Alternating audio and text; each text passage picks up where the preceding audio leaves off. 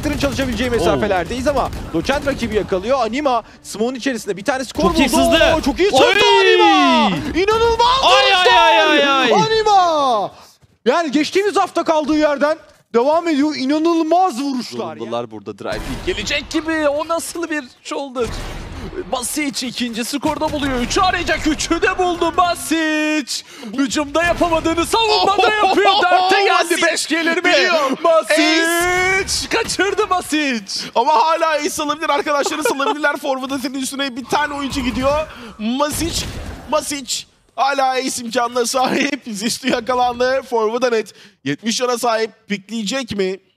Şu anda duvarın arkasında bekledi bekledi ve Masic. Şimdi kullandığı ultisini Riens aynı şekilde Glove'da kullandı. Çokları easy yakalamayı başarmış Glove yalnız bu önemli ama Riens'ten hemen gelen takas var. Mahsek 65 canda Baransel ulti kullandı. Aa, fark etmediler. Baransel'i fark etmediler. Baransel round'u çözen isim olabilir. Geliyor. İlk rakibini yakaladı. ikiyi de buldu. Ras Bıçaktan rakibini gördü. Paranoya başına Ras bu round'u çalmak üzere. Rakibinden Paranoya geldi. Baransel'den de Baransel round'u kahramanı. Ve harika bir round oynuyor. En ihtiyaç duyulan anda. Kaldıracak belki de büyük hamleyi, büyük adım attı. Verlas Y2C ikilisi. Kısa tarafından Y2C'den güzel vuruşlar var. Canında aslında çok yok rakiplerinin bu Oh! arada. Y2C 1 vs 1'e kadar getirdi. Şimdi Jonix 15 bol can. bekler. 15 can Y2C.